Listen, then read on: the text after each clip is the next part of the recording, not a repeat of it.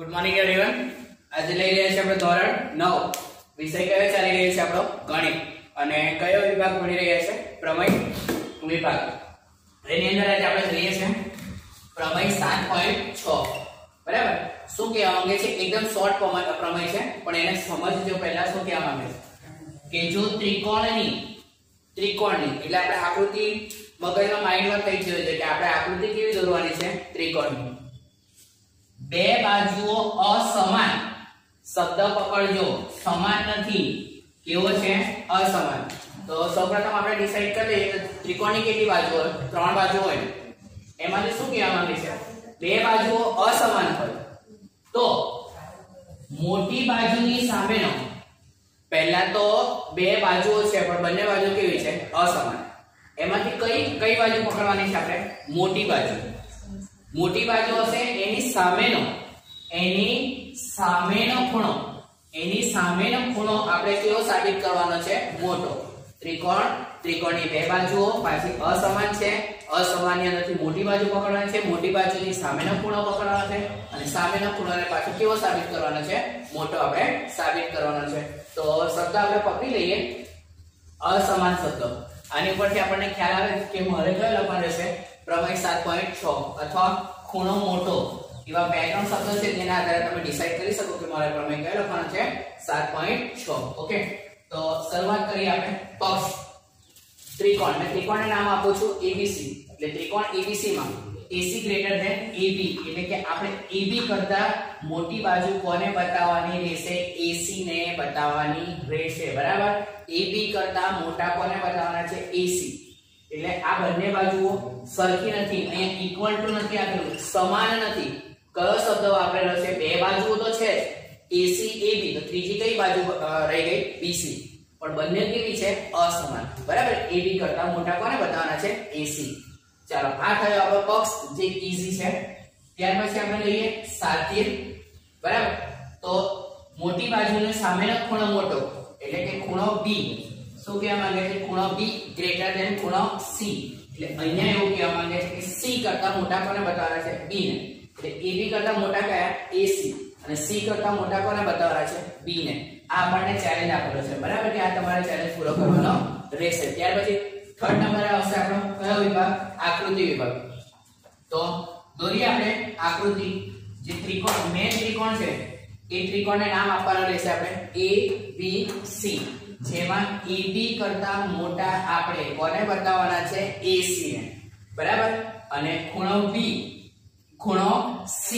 એટલે કે C કરતા મોટા કોને બતાવવાના છે? આપણે ખૂણો B ને. ઓકે તો આ તરફ જ્યારે આપણે જઈએ ને, તો સૌપ્રથમ આપણને એક નવા બિંદુની જરૂરત પડશે. એ નવા બિંદુને આપણે નામ આપીશું D. તો કે C કરતા મોટા કોને બતાવવાના છે? આપણે B ને. ઓકે તો ચાલો હવે આપણે જઈએ. સાબિતી તરફ પક્ષ ઈઝી છે. સાથે ઈઝી છે. આકૃતિ પણ ઈઝી છે. બરાબર? તો જોઈએ. સૌપ્રથમ આપણે શું કરવાનું હોય? તો આકૃતિનો આપણે શું લખી લેવાનું હોય? વર્ણન. તો AC પર D બિંદુ એવું લો. બરાબર? AC પર D બિંદુ એવું લો. એટલે AC એની પર લીધો છે આપણે બિંદુ D. બિંદુ D એવું લો કે જેથી AB બરાબર AD થાય. બરાબર? AB અને AD થાય. તો થઈ ગયા ને સરખા. એવું બિંદુ આપણે અહીંયા લીધું છે. અને એ બિંદુને આપણે નામ શું આપેલું છે? D. જે કર્યું તે આપણે અહીંયા વર્ણન લખીશું. હવે આપણે જઈએ છીએ સાબિતી તરફ. તો આપણી પાસે શું હોવા જોઈએ? પ્રૂફ. તો આ સ્ટેપ હોય ને, પક્ષ સાથે આકૃતિ આકૃતિ વર્ણન વર્ણન પછી પ્રૂફ. એટલે પ્રૂફના આધારે સાબિત થાય. તો હવે ડી બિંદુ લીધું ને? બરાબર? તો આપણું શું બની ગયું? ત્રિકોણ ABD શું બની ગયું છે? ત્રિકોણ A B ડી મેન ત્રિકોણ કયો હતો આપણો? ABC અહીંયા મેન ત્રિકોણ કયો બની રહ્યો છે? ABD તો ત્રિકોણ ABD માં AB બરાબર AD આ પણ શું થયું? વર્ણન થયું. બરાબર? તો જઈએ આપણે કે ત્રિકોણ ABC માં AB બરાબર AD કહેવાનો મતલબ ખૂણો 1 અને ખૂણો 2 બંનેને આપણે કેવા સાબિત કરી નાખીશું? સમાન. બરાબર? આ ખૂણો નંબર 1 અને ખૂણો નંબર 2 બંને સમાન થઈ ગયા. કેમ સમાન થયા? તો એની પાસે આપણી પાસે પ્રૂફ છે કે ભાઈ અમે બિંદુ D લીધો. તો D ના આધારે અમને એક ત્રિકોણ મળ્યો. કયો ત્રિકોણ મળ્યો? ABD અને ABD માં AB અને AD સરખા છે, તો ખૂણો 1 અને ખૂણો 2 પણ સરખા છે. તો આ થયા છે આપણી પાસે પ્રૂફ નંબર 1 હવે આગળ વધીએ. બીજો એક ત્રિકોણ બની રહ્યો છે, તમારા માઇન્ડમાં આવી જવો જોઈએ. એક બીજો ત્રિકોણ બની રહ્યો છે. કયો છે? ત્રિકોણ DBC બરાબર? ત્રિકોણ DBC એ હવે અંતઃસન્મુખ અંદરનો નથી. ત્રિકોણ ABD ની અંદરનો નથી. ત્યાંનો છે 12 તો ખૂણો નંબર 2 છે, એ બહિષ્કોણ છે અને ખૂણો 3 તેનો અંતઃસન્મુખ કોણ છે? બરાબર? એટલે આ બહિ અંદરનો થઈ જશે. બરાબર? એટલે ખૂણો 2 બહિષ્કોણ થઈ જશે અને ખૂણો 3 એનો શું થઈ જશે? અંતઃસન્મુખ કોણ? એટલે એક બહારનો છે. અને એક ક્યાંનો છે? અંદર.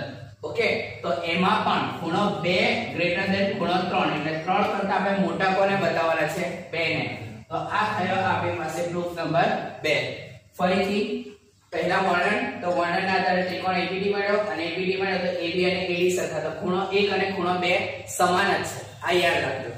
પણ આ જે ત્રિકોણ DBC છે એમાં ખૂણો 2 બહિષ્કોણ બની ગયો અને ખૂણો 3 એનો અંતઃ કોણ બની ગયો? એટલે 3 કરતા મોટા કોણ સાબિત થઈ ગયા?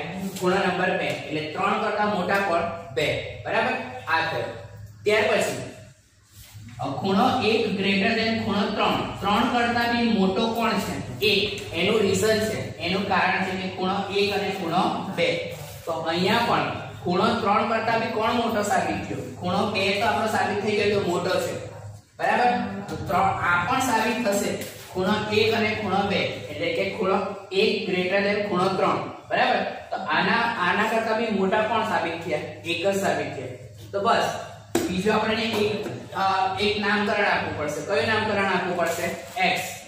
તો આમાં પણ ખૂણો 3 કરતા આપણે મોટા કોને બતાવવાના છે? તો ખૂણો 1 ખૂણો x ને. તો આના આધારે આપણે કહી શકીએ. હવે ખૂણો x અને ખૂણો a બંને તમે જોઈ શકો. ક્યાં આવે છે? ખૂણા b પર. તો અગર ખૂણો 1 અને ખૂણો 2 સરખા છે. ખૂણા 3 કરતા ખૂણા 2 મોટા છે.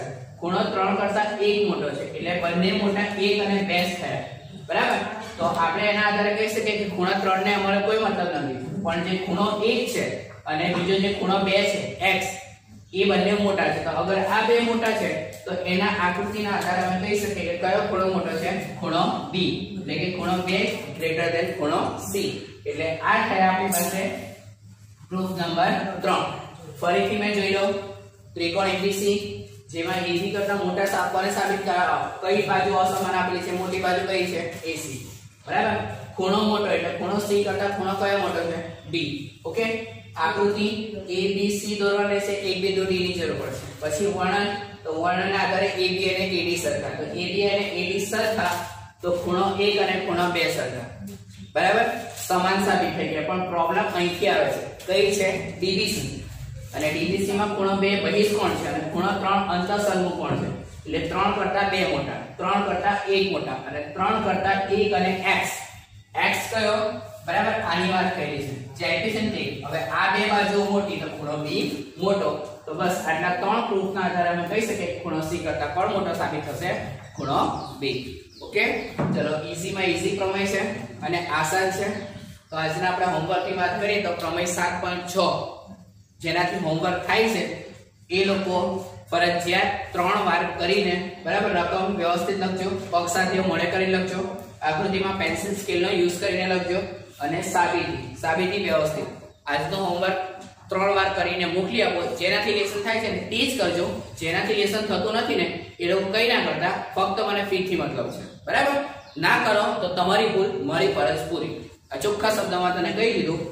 તો મહેરબાની કરીને ત્રણ વાર લખીને મને સેન્ડ કરો. જે મહેનતુ સ્ટુડન્ટો છે, એમના માટે છે. જેનાથી લેસન નથી થતું, તો એ લોકો કરશે બી નહીં. એમના માટે સ્ટ્રિક એક્શન મેં લઈ લઈશ. ઓકે ત્રણ વાર લખીને સેન્ડ કરો.